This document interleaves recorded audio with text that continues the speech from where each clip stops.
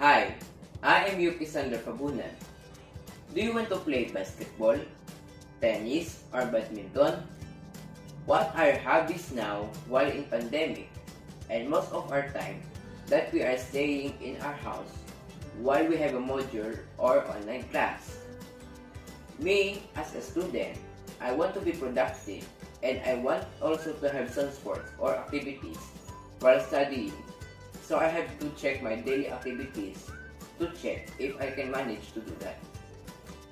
So today, join me to check my daily activities. We have a table here. In the first column, I write my activities. Second, how many hours that I spent in doing my activities.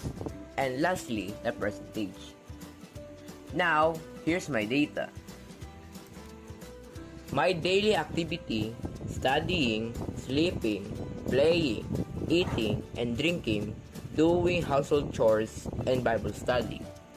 Studying 8 hours, sleeping 9 hours, playing 3 hours, eating and drinking 2 hours, household chores 1 hour, and studying Bible before sleep is 1 hour.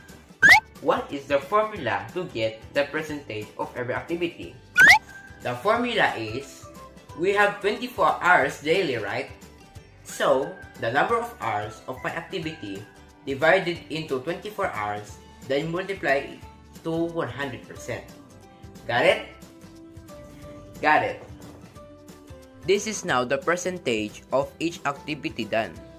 Studying 33.33%, sleeping 37.50%, playing 12.50%, eating and drinking 8.33%, household chores 4.17%, and Bible study 4.17%.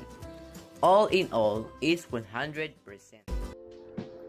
Why is it important to schedule your daily activity?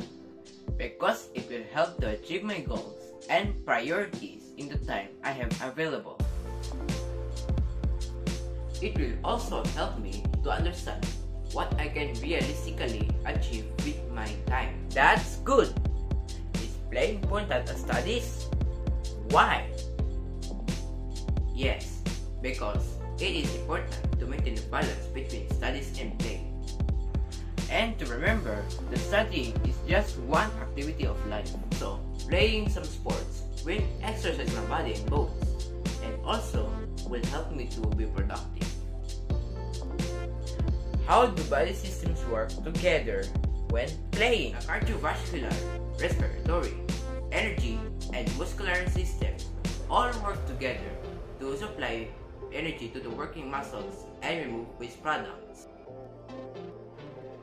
When the muscles start to work, they need more oxygen, so the respiratory system responds by getting more oxygen into the lungs.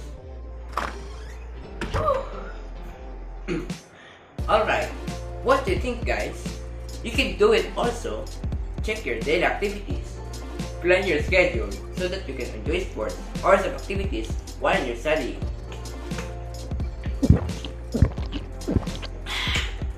Thank you for watching this video.